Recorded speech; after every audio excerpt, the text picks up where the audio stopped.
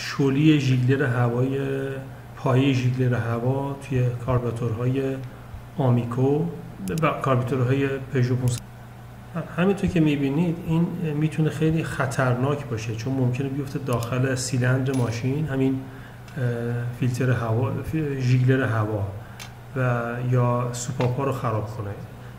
میشه از چسب استفاده کرد که مقاوم در مورد بنزین هستن و این رو دقیقا مثل چسب هل دوقلو چسب دوقلوی هل که حتی سوراخ بنزین سوراخ باک رو هم میشه باش چسبون.